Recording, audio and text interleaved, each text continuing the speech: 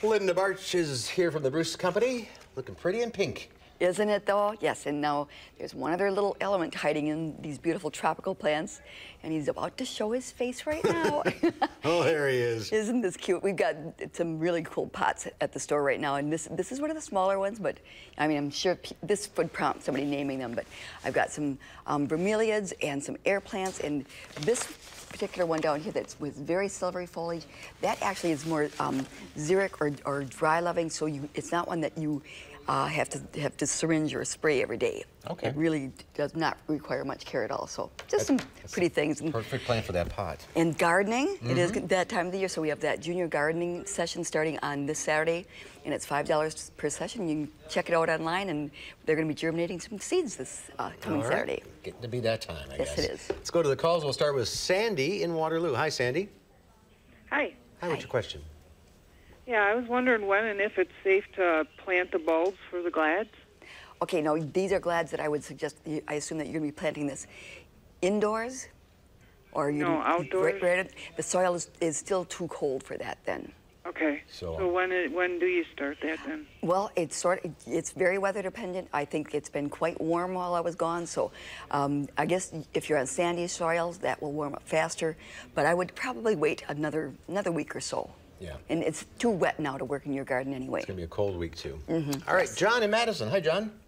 Hi. Um, can you plant strawberries and tomatoes in the same bed? We've heard you shouldn't. If not, why not? I have not heard that, and I, I think that I have seen strawberries planted in proximity to tomatoes. Let me check and, and respond to that next Monday, because I don't know of a, of a situation that that's a problem. But you got to pull the tomato plants out, and the yes. strawberries stay in the ground. Strawberries stay in the ground, and so that that could, I mean, obviously that would be an issue if you, if you want to cultivate everything. But I don't think that there's a disease that's transmitted. All right, we'll check back next week. Oh, okay, We lost good. line three. Let's go to Marilyn in Madison. Hi, Marilyn. Hi. Hi, what's your question? Um, last year we planted impatiens in our flower boxes in the backyard, mm -hmm. and they died like middle middle of July. And I was wondering, did that affect the soil, or is there something we can put in that to fertilize, you know, regenerate the soil? Okay. Impatiens are having a real issue with a disease where it, it you have to sterilize. So the the, the good thing is that it's not in the ground. So if you get rid of all of that soil and then clean up your um, planters very thoroughly using something like either probably bleach would be a very easy way for you to do it. Bleach those boxes, get rid of everything, and let it air dry, and then get fresh soil and replant, you should be fine. And we don't expect a problem this year with the impatiens, or just a one-year thing? Or? The, the, they're trying to be, greenhouses are trying to be very, very careful.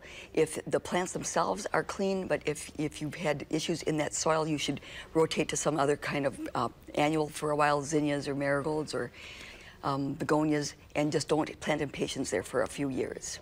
Okay, Emery and Mazomanie. Hi, what's your question? Hi, I have some uh, poison ivy vines in some trees, and I'm just wondering how I should uh, handle those. I understand I shouldn't burn them.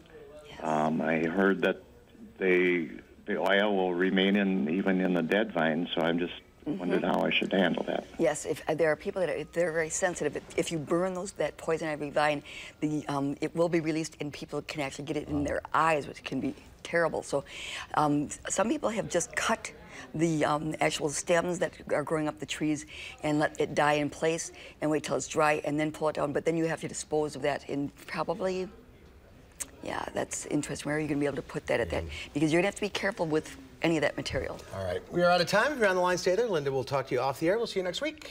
And we'll be right back with a final check of your forecast.